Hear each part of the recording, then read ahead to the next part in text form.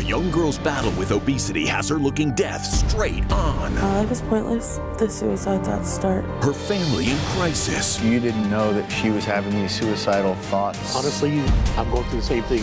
Can the doctors save their lives? I want you to live. She's suicidal. She turned to meth. It's time to step up. And the intervention that became a family affair. This needs to become a family intervention. All new.